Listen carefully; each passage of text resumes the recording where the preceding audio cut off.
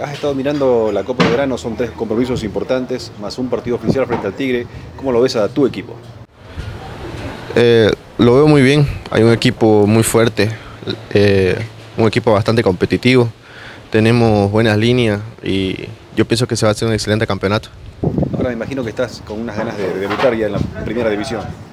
Sin duda, esa es la intención, estoy trabajando bastante, bastante duro, en la parte física para ponerme a tope de los compañeros para, para poder debutar. Para que la gente te vaya conociendo, estuviste en Europa, Ricardo, y además que este, hoy vienes a reforzar Oriente, ¿cuál es la posición, cuál es tu característica?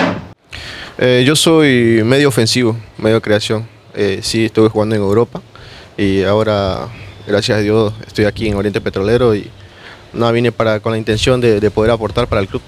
Esas cosas que uno ha aprendido en Europa hoy hay que transmitirle en el campo de juego, ¿no? Sí, así es. Ya estuve bastante tiempo en Europa, casi seis años. Este, nada, bastante experiencia para, para poder transmitirlo aquí también.